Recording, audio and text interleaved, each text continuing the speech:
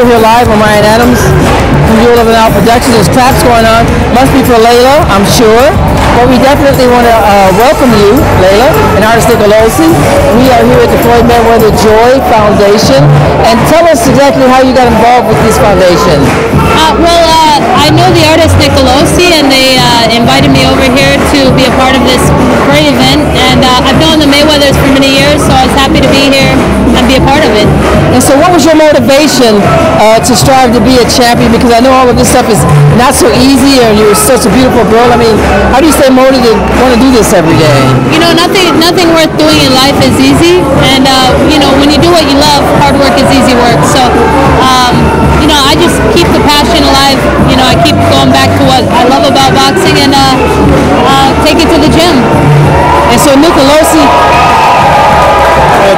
you? Yeah, they love your answer. Hallelujah, I love it too. And so, tell us, tell us how you have known this beautiful young lady. Our paths crossed for the Nevada Boxing Hall of Fame induction, and she got the uh, Fighter of the Year. wonderful uh, honor of being named Fighter of the Year in the Nevada Boxing Hall of Fame. And that was only last month. Yeah. Seemed like it was so long ago.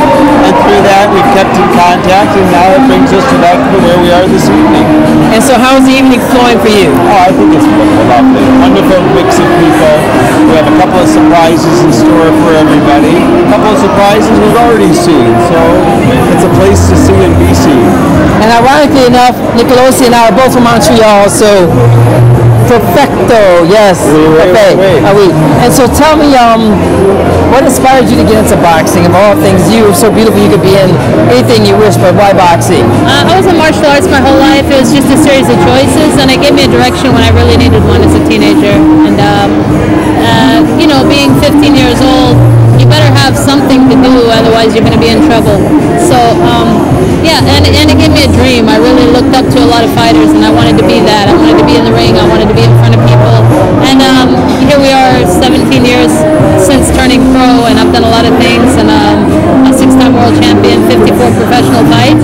And so if you gave any, you know, if you had any words to give to young aspiring um, uh, boxers or just the young adults in general, what would it be? just work hard. You know, nothing's easy. You got to have a strong work ethic. You got to work hard.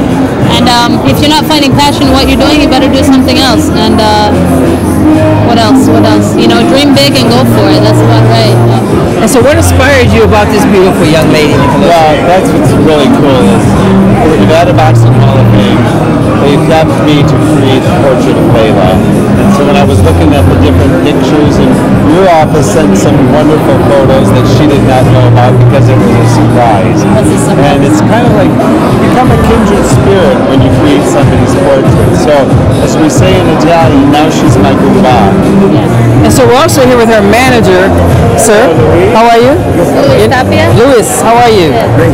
And so can you tell me to the camera what what what inspires you to stay motivated or to, to um, get together with her in the first place? 'Cause I know you have so many opportunities to deal with so many uh, boxers. I mean, I mean, what would inspire you to choose this young lady at a younger uh, moment? Bro, Layla McCarter is very extraordinary. You know, she's a very dedicated fighter, and as long as she wants to fight, I'll be there with her. The day that she decides to stop, I will respect that, and uh, I, I'm here to back it up, back it up, 100%. Whatever she want to do. But how we got involved in the first place is more the question. Okay, uh, she came to Las Vegas 15 years ago from Washington, Washington State. She was looking for a manager, a trainer.